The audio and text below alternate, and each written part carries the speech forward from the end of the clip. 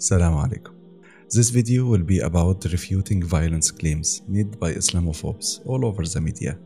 But instead of being all serious like every video, how about this time we play a nice game together? The game will be as follows I will give you two statements, and you guess which one of them is from Islam and which one is from Christianity. And let's see if your impression of the two religions is correct or not. We will use the honor system. Write down your answer in the comment below before I say it. And don't cheat and don't use Google. Write down the answers that you really believe in. Get ready, bring your coffee, and let's start. Question number one. I will read the two statements first without telling you which one is from Muslim scripture and which one is from Christian scripture. And you do the guessing. Statement A when you are at war, do not kill a woman or an old man or a child or a baby or a sick person. Do not even cut a tree. Statement B. When you are in war, put to death men and women, children and infants, cattle and sheep, camels and donkeys. Even infants has to die. You have 5 seconds to guess which statement belongs to Islam and which belongs to Christianity.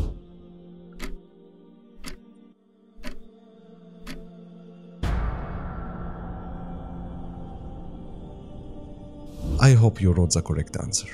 Statement A do not kill a woman or an old man or a child or a baby or a sick person, do not even cut a tree. This is a hadith from the Prophet Muhammad, peace and blessing be upon him. لا تقطعوا شجرة ولا تقتلوا امرأة ولا صبيا ولا وليدا ولا شيخا كبيرا ولا مريضا. But statement B put to death men and women, children and infants, cattle and sheep, camels and donkeys is from the Bible 1 Samuel 15:3. Did you guess correctly? Okay, question number two. Statement A Cursed is he who keeps back his sword from blood. Statement B Peace is one of the names of God. He put it on earth, so spread peace. I will give you five seconds.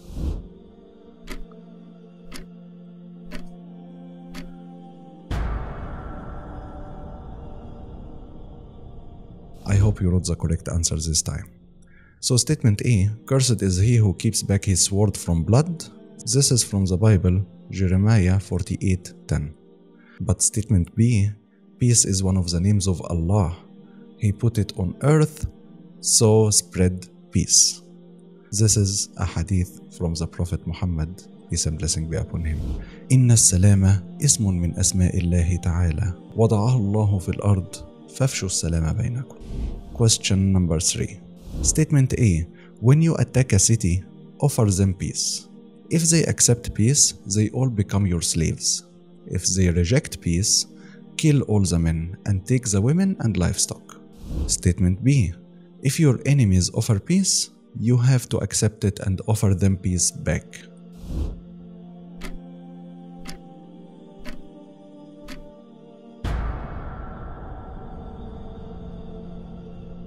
I hope you guessed the correct answer. Statement A Attack a city, either they become slaves or kill all the men and take their women and livestock. This is from the Bible, Deuteronomy 20, verses from 10 to 14. Statement B If the enemy inclined towards peace, make peace with them and put your trust in Allah. Indeed, He alone is all hearing and all knowing. This is from the Quran, chapter 8, verse 61. وإن جنحوا للسلم فاجنح لها وتوكل على الله إنه هو السميع العليم. Question number 4. Statement A. Anyone who kills a non-believer civilian will not go to heaven. Statement B. Have you allowed all the women to live? He asked. Now go kill all the boys. Kill every woman who has slept with a man. But save for yourselves every girl who has never slept with a man. 5 seconds.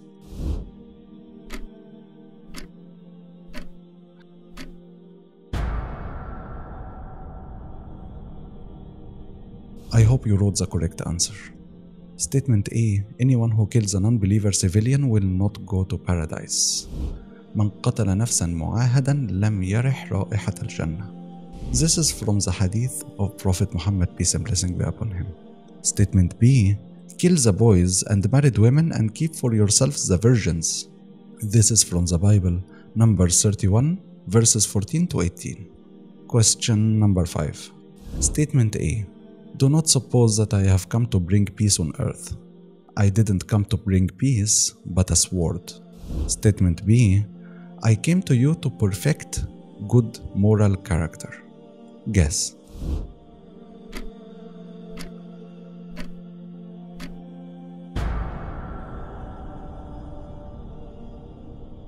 I think you wrote it correctly this time.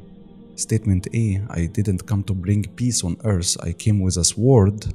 This is Jesus talking in the Bible, Matthew 10:34. Statement B I came to you to perfect good moral character إنما بعثت لأتمم مكارم الأخلاق. This is from the hadith of Prophet Muhammad, peace and blessing be upon him. Question number 6. Statement A Security to the non believers. We give them security for themselves, their money, their worship places, and the rest of their faith. Statement B They devoted the city to the Lord and destroyed with the sword every living thing in it men, women, young and old, cattle, sheep, and donkeys. I hope you write the correct answer this time.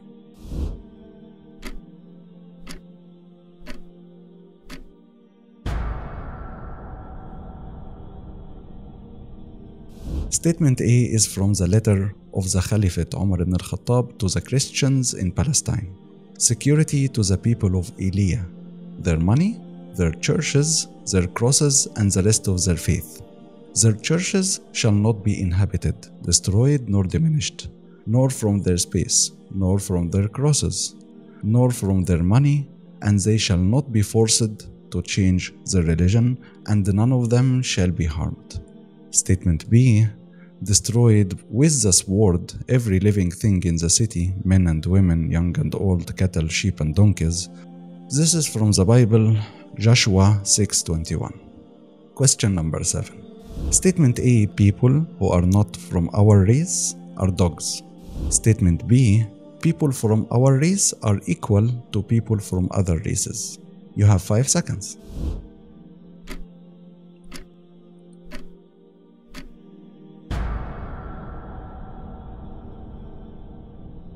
Okay. Statement A A woman who was not Jewish came to Jesus.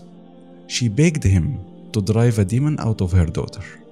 He said to her, First let the children eat all they want, for it is not right to take the children's bread and toss it to the dogs. Lord, she replied, even dogs under the table eat the children's crumbs. This is from the Bible, Mark 7:27. Statement B, O people, your God is one. An Arab is not better than a non-Arab. A non-Arab is not better than an Arab. A white person is not better than a black person. A black person is not better than a white person. The one who is better in the eyes of God is the most decent and the most righteous. This is from the hadith of Prophet Muhammad. Peace and blessing be upon him. Question number 8. Statement A. He who sacrifices to any god except to the Lord only, he shall be utterly destroyed. Statement B. There shall be no compulsion in religion. Guess.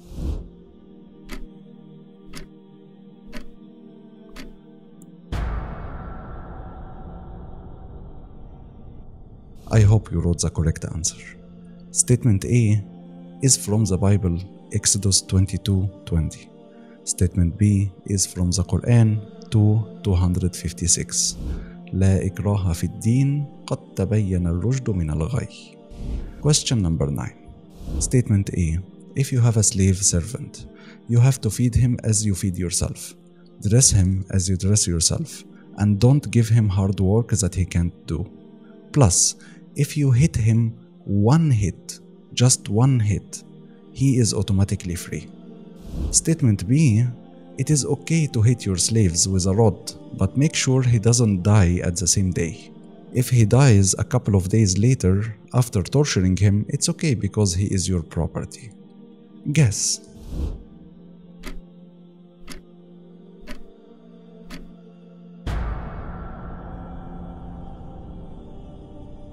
Statement A is from the hadith of Prophet Muhammad, peace and blessing be upon him. But statement B, anyone who beats their male or female slave with a rod must be punished if the slave dies as a direct result. But they are not to be punished if the slave recovers after a day or two, recovers from torture, since the slave is their property. This is from the Bible, Exodus 21, verses 20 and 21. Question number 10 and the final question for today. Statement A The best good deed is to say the truth, especially if you are in front of an oppressive ruler. Who you fear, say the truth even if you will be killed for it. Statement B It is okay to lie as long as it's for a good reason. Which one is the belief of the Muslims and which is from Christianity?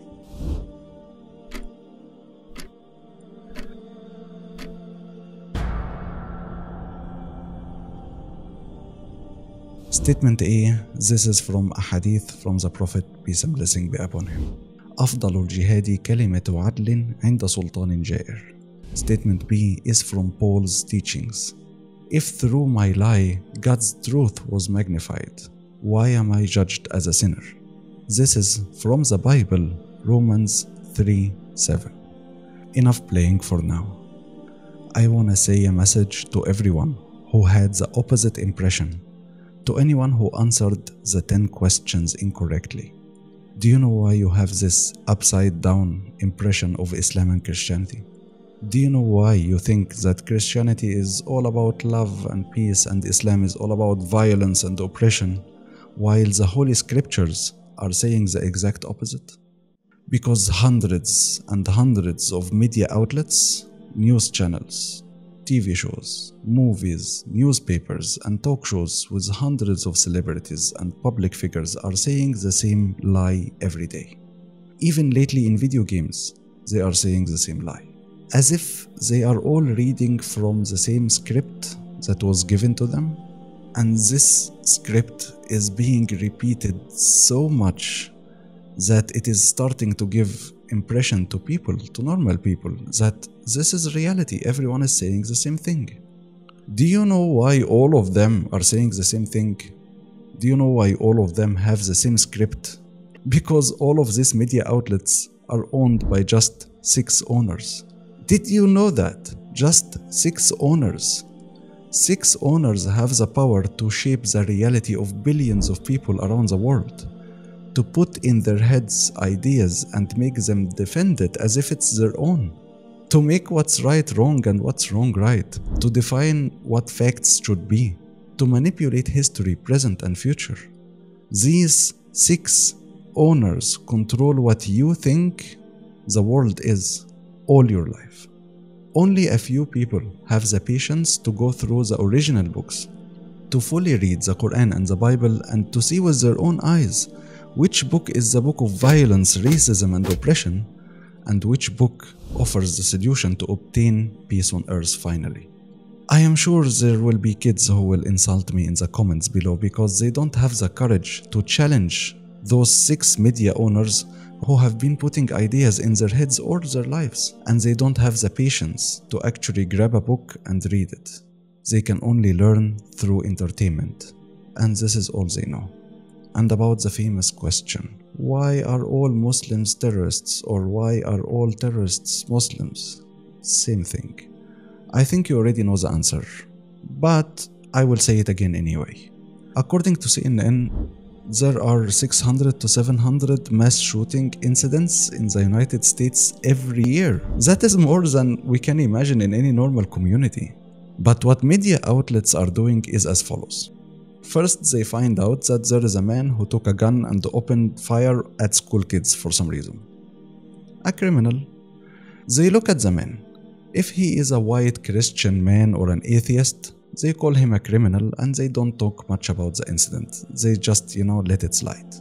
But if he is a brown man who has a beard, wow, suddenly all of these thousands of media outlets make a huge deal about how Muslims are terrorists and how bad those Muslims are, and suddenly 2 billion innocent Muslims on earth have to defend themselves from something that they didn't do.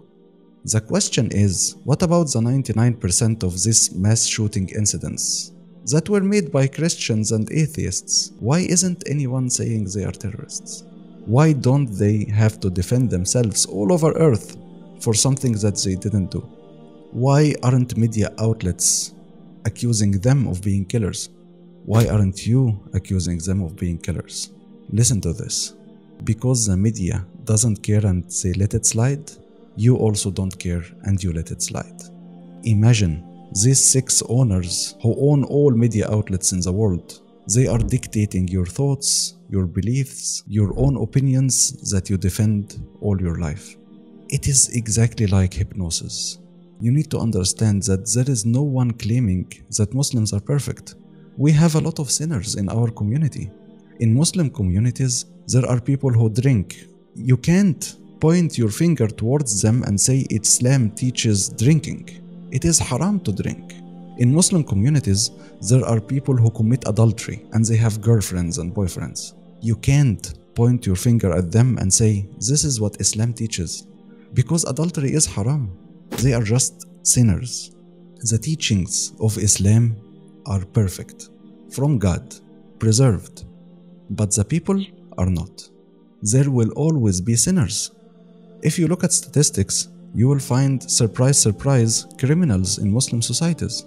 Although, if you compare the crime rate in Muslim societies and in secular societies, the crime rate in Muslim societies is nothing to them. It's like 10%.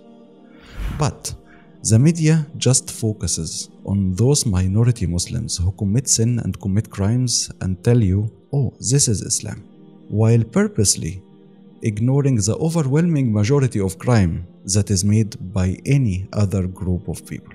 That is how they shape your reality, your beliefs, and your expectations. Let me tell you a story from history. Maybe you will see how history just repeats itself. Rwanda is an African country that was invaded by Germany in 1894, I think, then invaded again by Belgium in 1917. It had several ethnic groups inside of it, including one called Hutu and one called Tutsi. Both the Germans and the Belgians treated civilians in different ways based on their ethnic group. They even wrote everyone's ethnicity in the first line in his national ID, even before his name. Tell me your ethnicity first, then tell me your name. This is how they know if this person should be discriminated against or if this person should be treated nicely. That introduced racism and hatred between the civilians of Rwanda for the first time. Those people were living peacefully and happily together, but after the invasion, they caught the virus of racism from the Europeans, unfortunately. Long story short, I will skip forward to the important part the beginning of the media hatred propaganda. The Hutu started a newsletter from the church called Kinmatika excuse me if I'm pronouncing it in a wrong way, it's in their language. This newsletter was spreading lies about the Tutsi, saying, Tutsi are bad people, Tutsi hate us, Tutsi are not even from Rwanda, Tutsi are savages, Tutsi are ruining our society, and so on. Sounds familiar? I think it does. I think Islam hates us. Then the media was upgraded to radio stations instead of newsletters, and the hate speech was upgraded from Tutsi are savages to Tutsi should not live. Tutsi are a cancer to this society and should be wiped out from the surface of the earth. Do you know what happened after that? Years of negative propaganda and hate speech resulted in half a million deaths. From other sources, it is 600 million deaths from the Tutsi.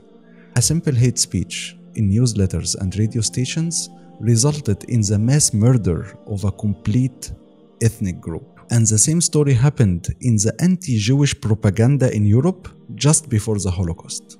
And history just repeats itself again now with the Muslims. I will make a separate video about that later. But if you want to read more now, read about what is happening to the Muslims in India now. I mean, there's 200 million Muslims living in India. That's the Yeah, second no largest. Muslim population in the world. and you're saying that wherever Muslims live, there's a If? Muslims become more than 30%, that country is in danger. That sounds like hatred. That sounds No. like language of hatred. It's easy to say hatred. I'm being kind to them by not letting them come to India. Article 14 of the Indian Constitution guarantees the right to equality, as you know, Yeah. for all persons living in India. I can tell you that's a misinterpretation of Article 14. Article 14 guarantees equality of equals. I'll give you an ele- Are example. all people not equal? All people are not equal.